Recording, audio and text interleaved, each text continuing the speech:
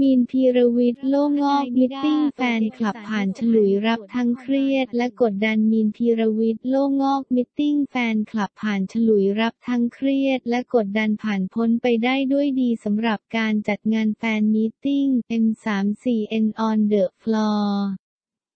ของนักแสดงหนุ่มมีนพีรวิชญ์อรรถชิตสถาพรจัดขึ้นเมื่อวันที่ 13 ธันวาคมที่ถึงแม้จะถูกเลื่อนขยับมาหลายครั้ง เนื่องจากการระบาดของไวรัสโควิด -19 ตั้งแต่เดือนมีนาคม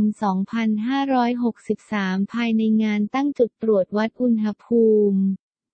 และมีการรักษาระยะห่างเรียกว่ามีมาตรการคุมเข้มอย่างเคร่งครัด ล่าสุด 14 ธันวาคม หนุ่มมีนเดินทางมาร่วมพิธีบวงสรวงภาพยนตร์ พี่นาคสามที่บริษัทไฟสตาร์โปรดักชั่นถนนพระรามเก้าจึงได้สอบถามความรู้สึกว่าเป็นอย่างไรบ้างเมื่อคืนนี้เรียกว่าหนักหน่วงสำหรับงานแฟนมีต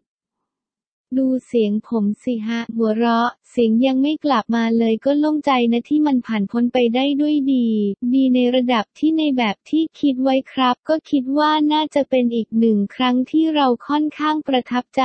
กับงานของเราเหมือนกัน กับผลงานของเราชิ้นนี้ครับ มีความสุขมาก และก็หวังว่าทุกคนที่ได้รับชมก็จะมีความสุขเหมือนกันครับ ใช้คำว่าโล่งใจแสดงว่าก่อนขึ้นก็มีความกังวล คือทุกคนจะรู้ว่างานครั้งนี้ผมกังวลมากกังวลกว่าปีที่แล้วอีกกังวลกว่าหลายหลายงาน ผมกังวลเครียดยิ่งอาทิตย์สุดท้ายยิ่งเครียดมาก กลัวว่าจะมีปัญหาอะไร เพราะโชว์ค่อนข้างเยอะและมีอะไรค่อนข้างหลากหลาย ชุดที่ต้องเปลี่ยนสิบกว่าชุดในโชว์ เรื่องโชว์เรื่องการบล็อกกิ้งมันเยอะไปหมดพอมันผ่านไปก็สบายใจขึ้นเยอะเลยครับ เลื่อนมาจากตอนแรกมีเวลาเตรียมตัวมากขึ้นไหม มันเลื่อนมาจากตอนแรกหลายๆ คนคิดว่ามีเวลาเตรียมตัวมากขึ้นใช่ไหม แต่จริงๆ แล้วซีเควนต์มันก็ถูกปรับเปลี่ยนไปเรื่อยๆ ตามระยะเวลามีอะไรใหม่ มีอะไรปรับแก้แก้กันจนถึงจะวันสุดท้ายเลยนะผมก็เลยว่าเวลาเตรียมตัวมันไม่ได้มากเท่าไหร่ แต่ก็พอใจประทับใจ อใจมากๆกับผลตอบรับที่ได้ เลื่อนออกมาในสถานการณ์ที่โควิดลบ19จะบาดวันวันยังไงบ้างไหมมีวันใจอยู่เหมือนกันนะ เพราะว่ากำลังจะได้จัดแล้วสถานการณ์มันดีขึ้นแล้วแล้วมันก็เหมือนจะมีอะไรที่มีโอกาสกลับมาได้อีกนิดนิดหน่อยหน่อยแต่เราก็เช็คกระแสอยู่เรื่อยๆ เพราะว่าสามารถทำได้แค่ไหนอยู่เรื่อย แต่วันที่เราจัดสถานการณ์มันยังสถานการณ์ไม่ได้เลวร้าย หรือนอกเหนือการควบคุมอยู่และเขายังให้เราจัดได้อยู่ผมก็โอเคแล้วครับ เราก็ป้องกันเต็มที่ใช่ครับเต็มที่ใส่ถุงมือให้เจลแอลกอฮอล์ล้างมือเว้นระยะห่างที่ถูกต้องตามหลักตามกำหนดกฎเกณฑ์ ในออนไลน์ก็ชื่นชมกับกิจกรรมของเรา ได้เห็นฟีดแบ็กหรือยัง